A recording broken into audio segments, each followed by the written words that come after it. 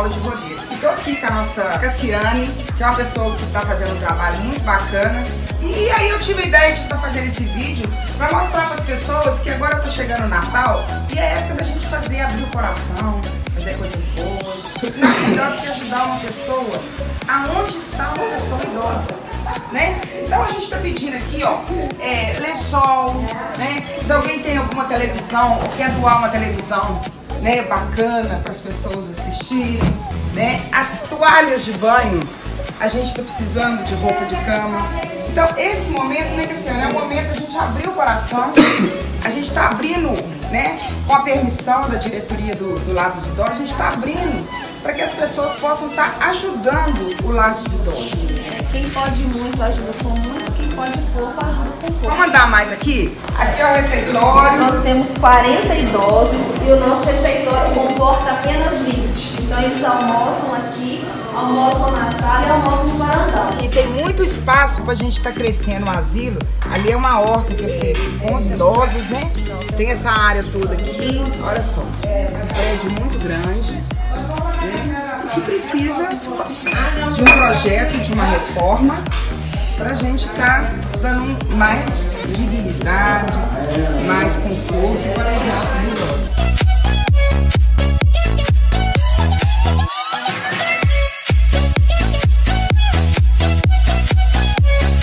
Aqui, ó, hoje a comida é arroz, olha que delícia, quiabo e o que mais que o pessoal gosta de comer? De tudo, de tudo. A gente, tá, a gente pede, mas a gente também ganha, né? É, a escola estadual fez um projeto. Olha o tanto de biscoitos que a gente ganhou de doação. Olha que coisa boa. Olha que maravilha. Aí a gente separou por data de validade, né? Bacana o povo de rodeiro, o povo tá sempre contribuindo, Sim. colaborando, né? Isso aqui é a varanda. Ah, e a Cassiana, é assim, demonstrou um amor muito grande aos idosos aqui. E a gente tá aqui pedindo aqui um empresário que possa estar tá trocando isso aqui para colocar teira de barro né, a fazer de, até de eucalipto, para ficar mais fresco. Aqui tinha uma televisão, né, queimou e não teve retorno.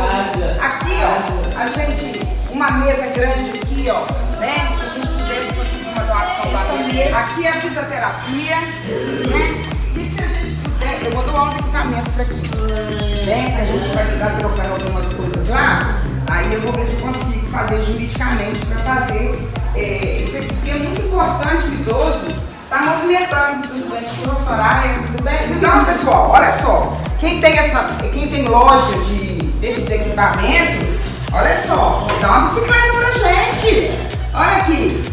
Né? Ó, e não nem de rodar. Ah, vamos, vamos ajudar, vamos ajudar o lar dos idosos da cidade de Rodeio. Então a gente vem fazendo um apelo aos nossos deputados que tem voto na cidade, que tem voto na região, né, que possa estar contribuindo com uma emenda parlamentar para estar organizando os banheiros e a infraestrutura do, do Lar São Vicente de Paulo. Eu acho que o papel do gestor, o papel do deputado é vir nessas instituições que é, são os orfanatos, que são os asilos. Isso aqui é ser humano. Então a gente vai fazer, tá fazendo esse vídeo para pedir para quem? Para empresário, para as pessoas físicas, né? que possa estar doando, e mas principalmente para as pessoas que têm um mandato. Então, o pessoal da Vidrolar aqui, ó, para vir aqui colocar assim a, a, as portinhas.